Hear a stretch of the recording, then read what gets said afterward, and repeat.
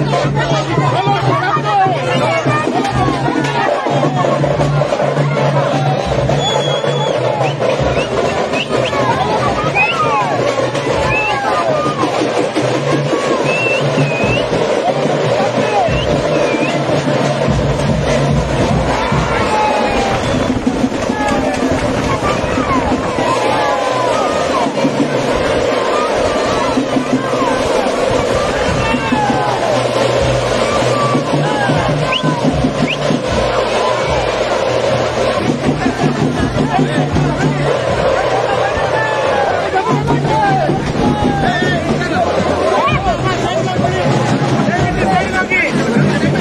ಕನ್ನಡ ನಾಡಿನ ಜನತೆಗೆ ಅವರ ಸಂಕಷ್ಟಗಳಿಗೆ ಪರಿಹಾರ.